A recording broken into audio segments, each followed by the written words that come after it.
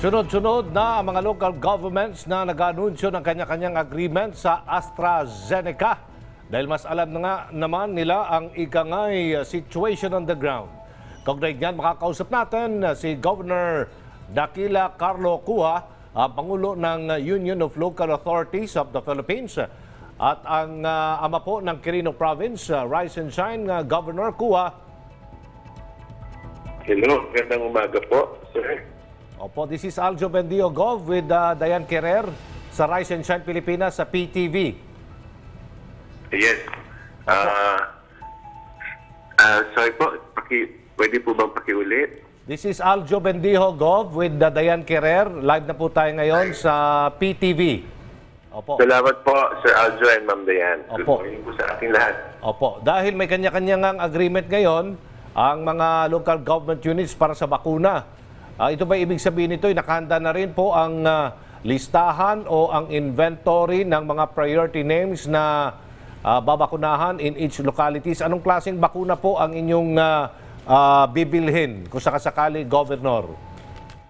Yes, ah, Sir Aljo, ang sa ngayon po, ang ah, ang ating mga locality ay nag-reserve. ang tawag po dito ay um, advance market commitment. No? So, kumbaga, nagsisignify yung lokal na pamahalaan na bibili po ng ng ah, bakuna para sa pag sa lalong madaling panahon. Eh, pero pangako po sa atin ng ng pharma ay nasa bandang ah, third to fourth quarter. So mga July po siguro ang pinakamaaga nito upang makapagpapakuna rin po ang mga lokal na pamahalaan. All right. Ah, at papaano po kaya ang ah, rollout ng ah, national national vaccination plan? Ah, kasama po ba ang ulap dito ang ilang ah, local governments sa ah, gagawing pagdinig ng Senado para po sa roadmap ng ah, pagbabakuna ah, nationwide? Sa ngayon po, sir, um, ang naka ang alam kong naka-participate dito sa unang phase ay mga mahigit na 30 lokal na pamahalaan.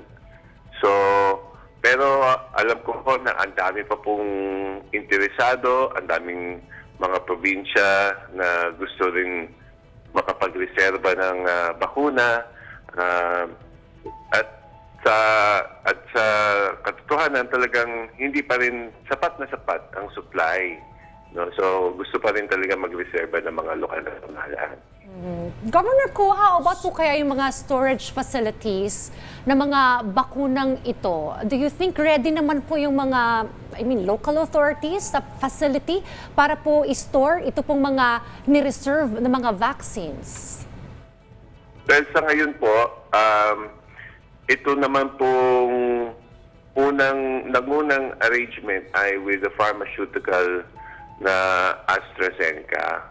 So dito po sa AstraZeneca, ang kanyang ah, handling at logistics po does not require yung sobrang lamig naman na cold storage. I think simple refrigeration uh, and cool storage ay ah, pwede na po para dito sa pakunang ito. So, yun ang isang ah, magandang feature nung nung na, napangunang ano arrangement with this pharmaceutical with this company. Governor Ko, kayo po sa Quirino Province, ah, ah, may plan or nakapag-reserve po ba kayo ng vaccine? Nagkaroon po ba ng advance procurement sa, sa vaccine, sir? Yes, Dayan. Ah, ma'am, opo. Kami po dito sa Lalawigan, ah, hiningi po natin ang authority ng Sanggunian Panlalawigan na makipagpirmahan at magreserba. So, ang aming ah, ah, tinarget ay is- ang initial na ano lang po, ah, good for 20% of the population. Kasi po, ang plano naman po ng ating national go- government at ng ating vaccine czar ay mag-provide ng 50 to 70% of the population.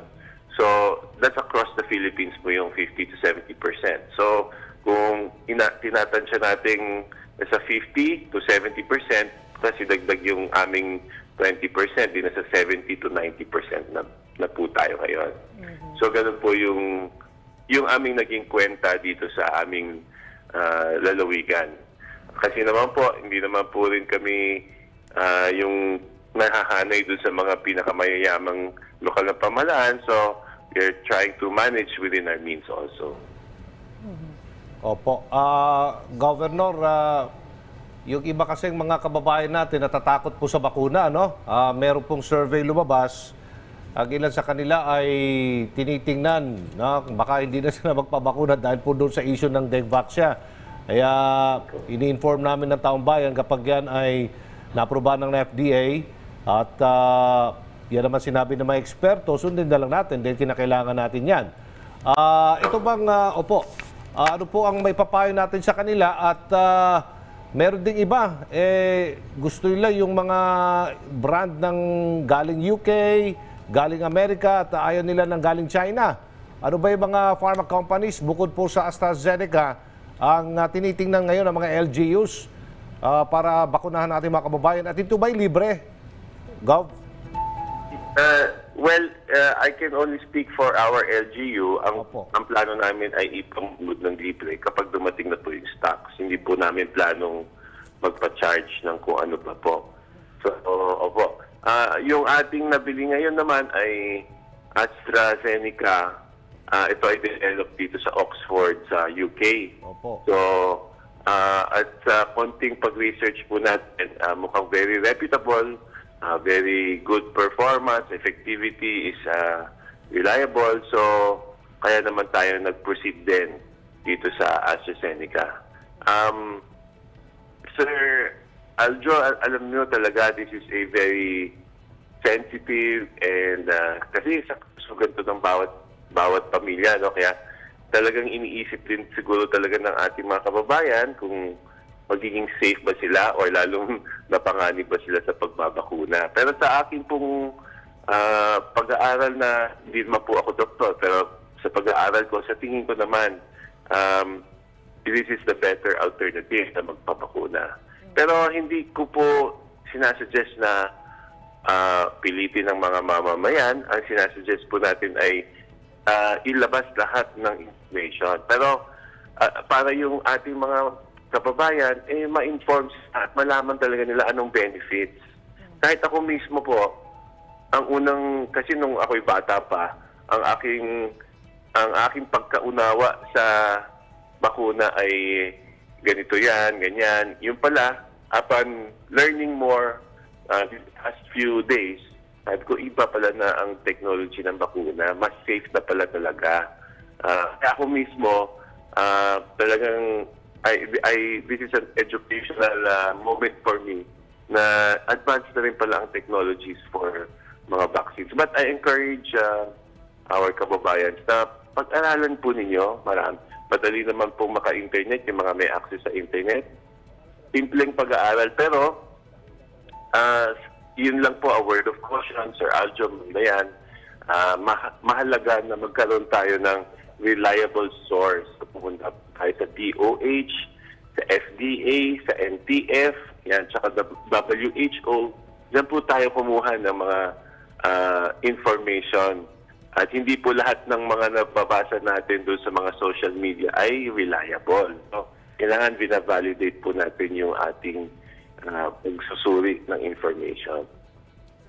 Maraming salamat po, Governor Dax Kua, ang Pangulo po ng Union of Local Authorities of the Philippines. Thank you very much, Governor, for your time today. Thank you again. Magandang araw po.